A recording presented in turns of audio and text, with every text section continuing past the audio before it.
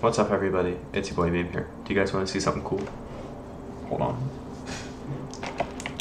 Um, one sec. Now, it's going to be a little hard to see because I have a weird setup because my monitor is 16 by 10, but this video is 16 by 9 to fit my camera. But, check this out. Um, I'm trying to make like a cool like glass pattern on top of my, what's going to be my base here. So, that's the plan. Uh, I've got a bunch of glass smelting in my auto smelter currently.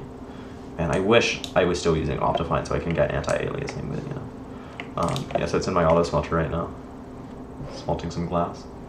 Um, recently got this new sugarcane farm, uh, which I think is important because you know you need sugarcane for paper and you need paper for rockets. Um, and I use rockets a lot. Um, and I recently I've had this um, bamboo farm. I don't know if I've showed this on stream, not on stream. I don't know if I showed this in my video, but I have this bamboo farm going directly to um, uh, uh, the the auto smelter. So then it automatically fuels it because the auto smelter is actually made for coal, and so unless it has an auto, like a constant source of fuel, like something like coal, because it just lasts so long. Uh, bamboo doesn't last so long, but it is renewable.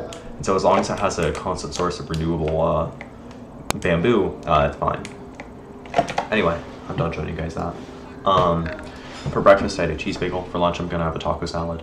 And uh, for dinner, I'm not sure what we're having. I do know that I have this horrible cramp in my leg. I have this really weird leg problem where um, if I just stretch my leg out too far, it really, really, really, really hurt my calf. Worst pain in the world. Literally worst pain I can experience, right?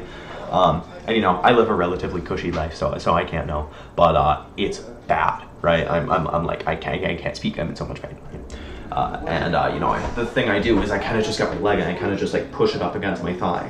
And uh, once I do that, it kind of goes away, but then my leg really hurts for the rest of the day, just like my calf.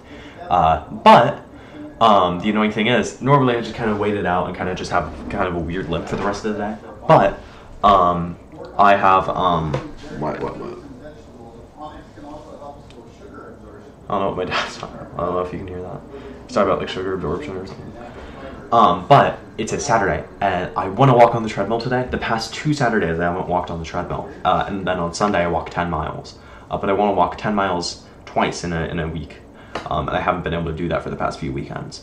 Um, and I really want to walk 10 miles today, but I don't know if I'll be able to in my condition. And my day is all out of whack. I'm in a weird funk if I don't exercise or if I don't do something, like through the middle of the day to separate the beginning of the day and the um, other half of the day. Uh, but I don't know. Uh, yeah, alright. See you, dude. I was hanging out, I guess. Just doing my thing. Uh, yeah, alright, see you, dude.